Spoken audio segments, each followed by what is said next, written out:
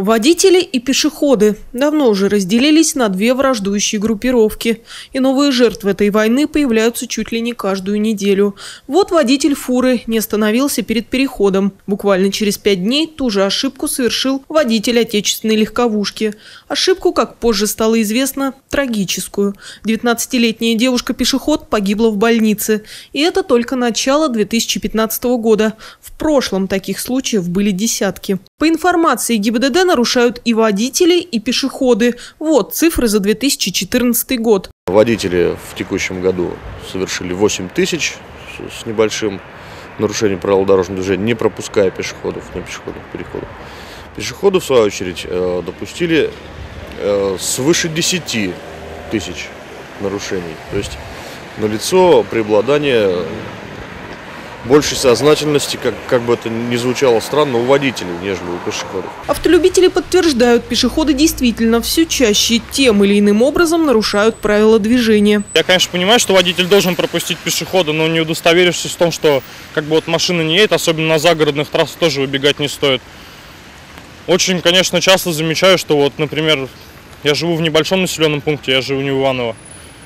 У нас очень часто вот вечером по улицам, то есть прямо посередине дороги ходят пьяные люди. Или вот я замечаю, когда бывает вот идет мама с коляской и начинает перебегать дорогу вообще в неположенном месте, и хочется спросить, вот, ладно, ты взрослый себя вот угробишь, как бы, а вот ребенка за что, как бы. То есть вот я вот такой позиции. Пешеход, когда выходит на проезжую часть, и когда остановилась одна машина, это не говорит о том, что уже можно спокойно и смело идти. Нужно посмотреть на другую полосу, потому что, как правило, в городе у нас двух-трехполосные движения, и нужно на это обращать внимание. Как правило, пешеходы уже редко, ну, как бы наказывают, поэтому пешеходы им, по-моему, без разницы. Они особо-то не парятся по этому поводу.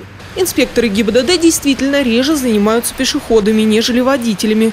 Но все же в курсе основных и по большей части фатальных нарушений. Среди наиболее распространенных нарушений это, во-первых, переход проезжей части э, вне установленного места, то есть вне пешеходного перехода, в, причем в зоне его видимости, в непосредственной близости от него. Э, кроме того, нередки случаи перехода проезжей части на запрещающий сигнал светофора. И по-прежнему значительной проблемой существует выход э, пешехода на проезжую часть перед близко идущим транспортным средством, то есть в месте, где это допустимо делать, ввиду отсутствия поблизости пешеходного перехода, но э, ввиду нарушения требований правил дорожного движения, что нужно убедиться в безопасности пересечения проезжей части. То есть вот это очень часто ДТП происходит именно по этой теме. Человеческий фактор при возникновении аварийных ситуаций важен, но ведь есть еще и погодные условия. Пик аварийности приходится, как правило, на зимний период и особенно опасно на дорогах в темное время суток действительно иногда не видно. Вот, иногда, ну, бывают случаи, не, э, наезды на пешехода, страдает водитель, ну, грубо говоря, из-за того, что просто его не видел. И доказать обратное зачастую бывает очень сложно.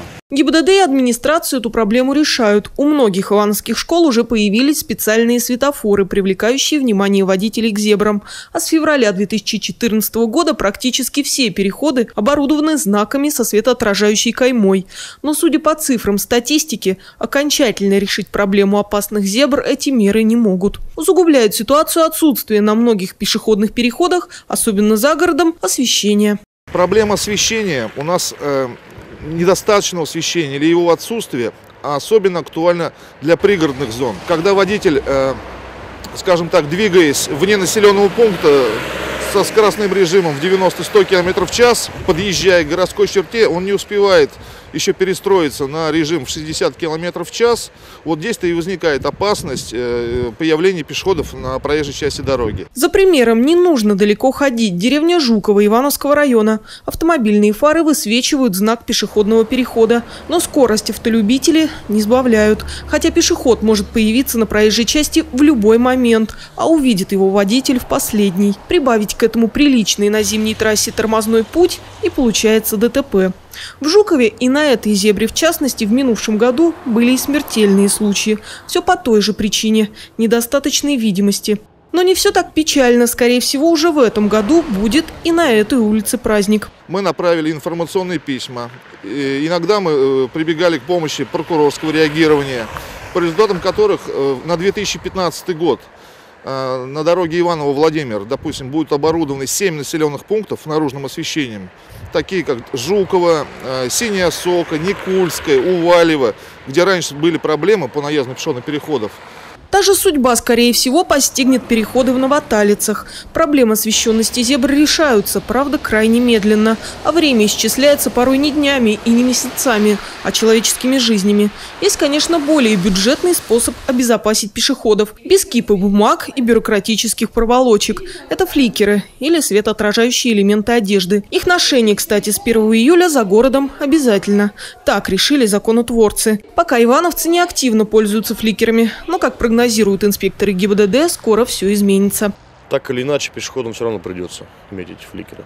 Как им пришлось э, буквально несколько там, лет назад обязательно начать пристегиваться в автомобилях.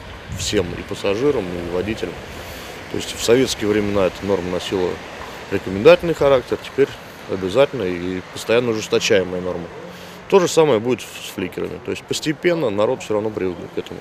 Выйдя из сумрака, уверен автолюбителей, пешеходы не перестанут провоцировать ДТП, но их, по крайней мере, будет видно. Водители будут предупреждены об их появлении на дороге, а значит, готовы. Наталья Гутарина, Денис Денисов, Андрей Семиволков, РТВ Иванова.